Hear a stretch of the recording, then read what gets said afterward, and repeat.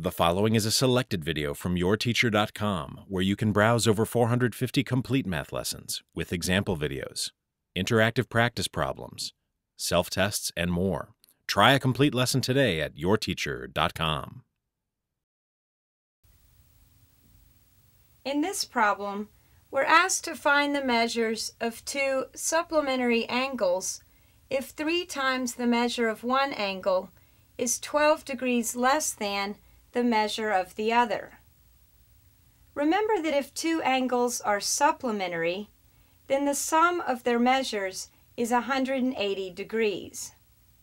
In this problem, since we don't know the measures of our supplementary angles, let's call the first angle x.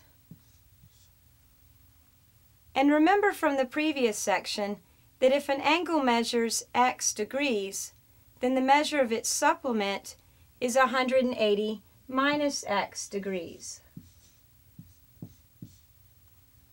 So let's call x an angle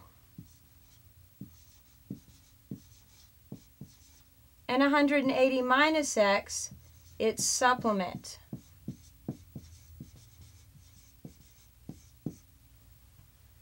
Now to find the value of x, we can use the second part of the problem to set up an equation.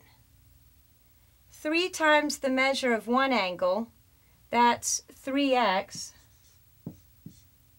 is equals 12 degrees less than the measure of the other.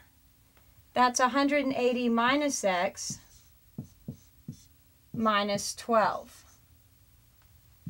Now we can solve for x by first simplifying on the right side, and we have 3x equals 168 minus x. And adding x to both sides gives us 4x equals 168. And dividing both sides by 4, we find that x equals 42. So the measure of one angle, which is x, is 42 degrees. And the measure of its supplement, which is 180 minus 42, is 138 degrees.